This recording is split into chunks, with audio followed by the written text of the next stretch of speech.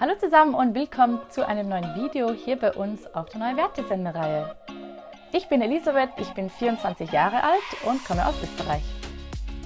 Ich hatte anfangs diesen Jahres auch so meine Neujahrsvorsätze, beziehungsweise dachte ich, okay, hey, was will ich dieses Jahr an mir persönlich verändern? Wo möchte ich meinen Fokus drauf setzen? Ähm, genau. Und dann habe ich gemerkt, okay, ja, weniger Zucker, mehr Sport, mehr frische Luft, äh, keine Ahnung, was für sich. Da gibt es ja von bis, was man tun und machen kann und lassen soll und wie auch immer. Und ich habe dann die Botschaft irgendwie durchgeackert von einer Veranstaltung und da hat Ivo davon gesprochen, dass Gott auf das geht, was im Herzen drin ist. Also Gott beantwortet deine Herzensfragen. Gott geht auf das, was du ganz tief drin hast. Da hat eben ein Beispiel gebracht von Abraham.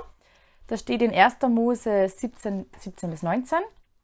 Und Abraham fiel auf sein Angesicht und er lachte und redete in seinen Gedanken oder Herzen folgendermaßen.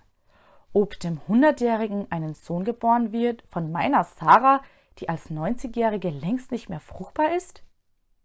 Zu Gott aber sagte Abraham, Ismael, der soll vor dir leben. Und das Interessante dabei ist, dass eben Gott auf das ging, was Abraham im Herzen gesagt hat. Und das hat mich irgendwie so irgendwie inspiriert oder hat mich so angesprochen, weil ich gemerkt habe, boah, das stimmt, Gott geht auf das, was im Herzen drin ist. Und nicht das, was ich von mir fromm, fromm sage oder fromm gebe. Und da gibt es auch noch ein anderes Zitat oder ein Bibelvers. Matthäus 15, Vers 8. Dieses Volk ehrt mich mit den Lippen, aber ihr Herz ist weit entfernt von mir. Oder in Vers 18, 19. Was aber aus dem Mund hervorgeht, kommt aus dem Herzen hervor. Und das verunreinigt den Menschen.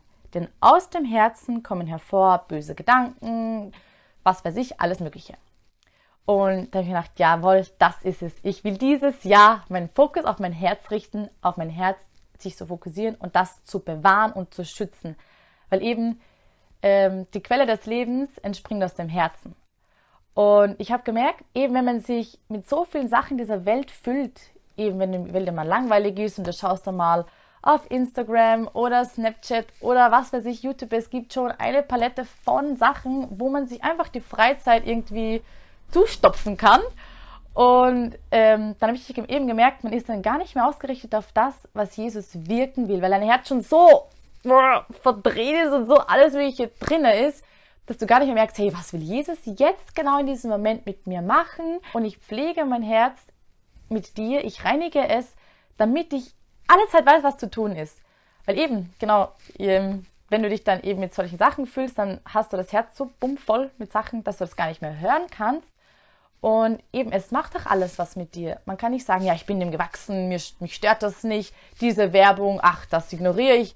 Es macht mit dir was, weil alles, was du siehst, was du hörst, geht ins Unterbewusstsein rein und es ist dann verankert. Und im schlimmsten Fall oder im blödesten Moment kommt das dann raus und ja, das ist halt nicht das, was wir haben wollen.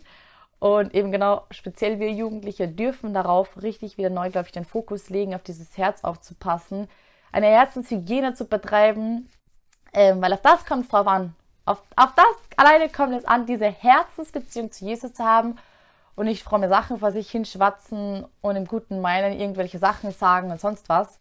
Ähm, ja, und da möchte ich dich auch irgendwie elektrisieren darin, ähm, und ich hoffe, ich konnte das durch meine Sendung ein bisschen verdeutlichen oder dich damit hineinnehmen in meinen Neujahrsvorsatz. Ich weiß, es ist schon ein bisschen her, aber wie gesagt, das Prinzip ist dasselbe und das Prinzip ist das ganze Leben.